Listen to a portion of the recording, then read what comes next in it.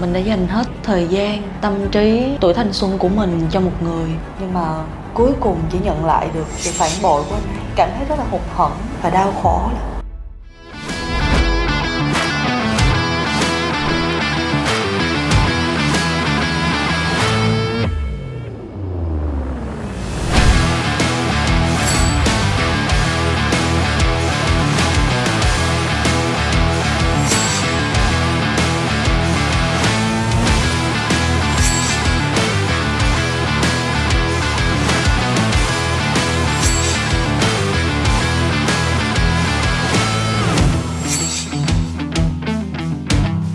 hiện tại thì chị với là người đó cũng đã là dĩ vãng rồi. Mình đang hạnh phúc với lại cuộc sống của mình hiện tại.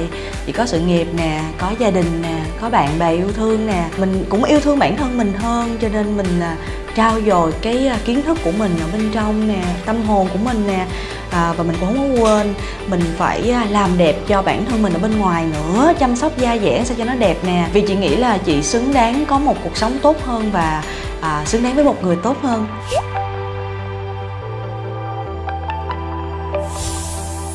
Linh Anh Thẩm mỹ quốc tế.